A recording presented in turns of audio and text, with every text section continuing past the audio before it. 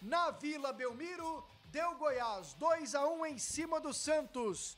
Pedro Raul marcou duas vezes para o Verdão, que chega à sua terceira vitória seguida e domingo que vem recebe o Flamengo na Serrinha, promessa de um grande espetáculo. José Carlos Lopes, como você resume essa vitória do Goiás sobre o Santos?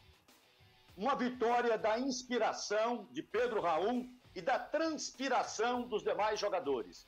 O Goiás é, facilitou o jogo a seu favor ao marcar muito cedo, num cruzamento da Dá Belmonte, o gol do Pedro Raul, dois minutos. E a partir daí foi um sufoco. Goleiro Tadeu mostrando a sua categoria, fez muitas defesas. O Goiás sofreu com a marcação do lado do Soteudo e terminou o primeiro tempo num sofrimento danado. No segundo tempo, o Goiás teve um pouquinho mais de tranquilidade. O Jair Ventura ajustou a marcação e o Goiás sofreu um pouco menos. E acabou sofrendo o gol de empate na insistência do time do Santos. Uma jogada pela direita, o cruzamento do Matson, ele foi tentar fazer um cruzamento, ela bateu no pé do Sábio e foi para o gol 1 a 1 Dava a impressão de que o Santos, a partir dali, tomaria conta do jogo, mas não foi o que vimos. O Goiás finalmente encaixou um contra-ataque e a bola do Dadá Belmonte pegou o Pedro Raul nas costas da defesa do Santos, que é uma defesa lenta. O Eduardo Bauerman não deu conta de segurar e ele, na saída do goleiro João Paulo, tocou de perna esquerda, fez um belíssimo gol para se tornar artilheiro isolado do Campeonato Brasileiro. E aí, o Goiás manteve-se à frente, os 2 a 1 um até o final, com 10 minutos de acréscimo, é bom que se diga. Muito sofrimento, muitas finalizações, muitos canteiros do Santos, mas na transpiração, o Goiás conseguiu uma vitória heróica 2 a 1 um sobre o Santos. Arthur Barcelos, como você resume essa vitória do Goiás por 2 a 1 sobre o Santos? Pasqueto, uma vitória do oportunismo e também da resistência. A resistência de sofrer durante o jogo quase inteiro e conseguir se manter durante a partida de uma forma competitiva. E por mais que sofreu bastante os ataques do Santos, não sofreu o um empate, eventualmente, mas depois buscou logo na sequência, e aí é que surge o oportunismo, o oportunismo do Pedro Raul. Nas duas chances que teve de atacar realmente, quando recebeu em, em boas condições, quando ele tem a qualidade realmente, é, ele aproveitou as chances, né? É um atacante que tem um aproveitamento realmente incrível, né? Quando ele tem a oportunidade, ele faz o gol e o gol é quase sempre decisivo. É o artilheiro do Brasileirão, não à toa, e também o atacante que faz mais gols importantes, que mais dá pontos ao seu time, e é realmente fundamental ele nessa campanha do Goiás.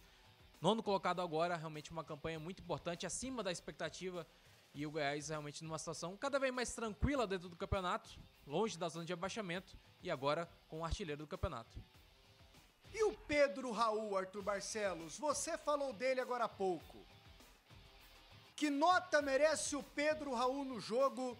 O que ele significa para o time do Goiás hoje em dia? Além dos números frios que você destacou há pouco, Arthur.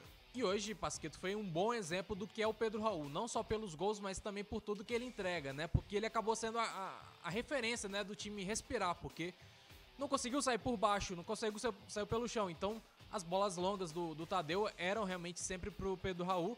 E ali ele realmente resistiu bastante à marcação, segurou muitas bolas. Nem sempre as jogadas saíram, mas ele fez o papel dele, fez o papel do pivô. E além disso, entregou os gols. Então é realmente um atacante que não só faz os gols, faz gols importantes, mas também um ótimo centroavante. Ele oferece muitas coisas e é isso que a gente está vendo.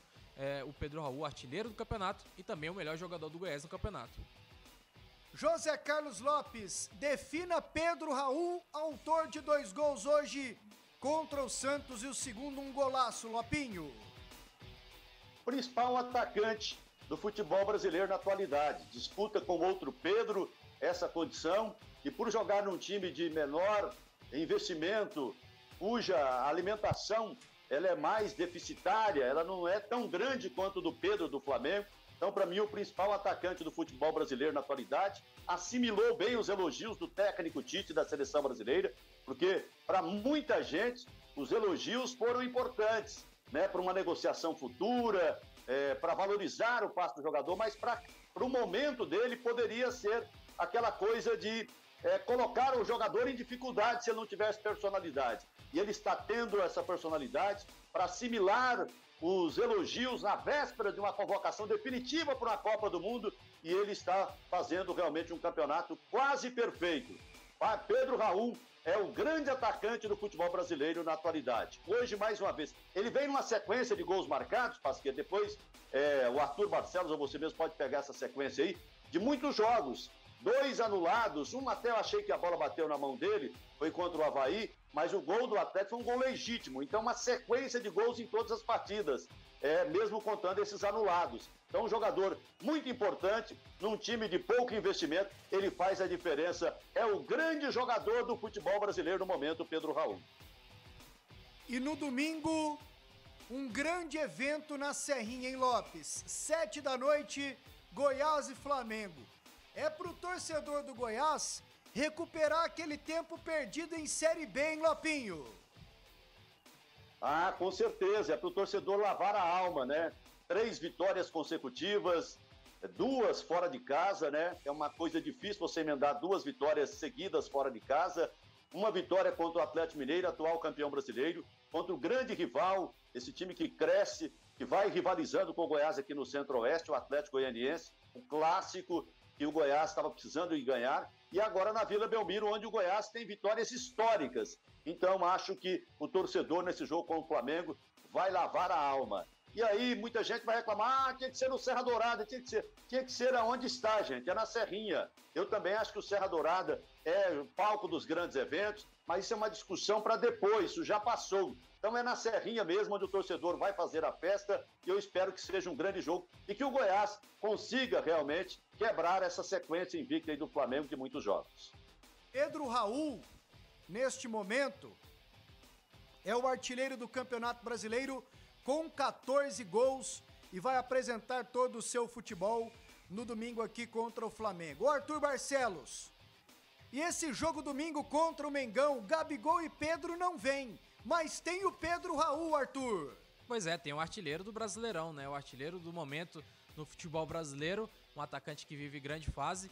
E é claro que o Flamengo muito mais envolvido, muito mais focado na Libertadores. Vai ter agora o jogo da volta, né? Tem a Copa do Brasil também, mais uma decisão logo na sequência. Então é um time que não tem tanto foco, até porque acabou vacilando na última rodada com o Ceará. Então o Goiás precisa tirar proveito disso. Não tem os dois principais atacantes, o Flamengo, e ainda também com o foco, o foco todo voltado nas Copas. Então é uma ótima chance do Goiás chegar aí, quem sabe, a quarta vitória seguida pela primeira vez nesse brasileiro. As opiniões do José Carlos Lopes e do Arthur Barcelos. Goiás 2, Santos 1. Um.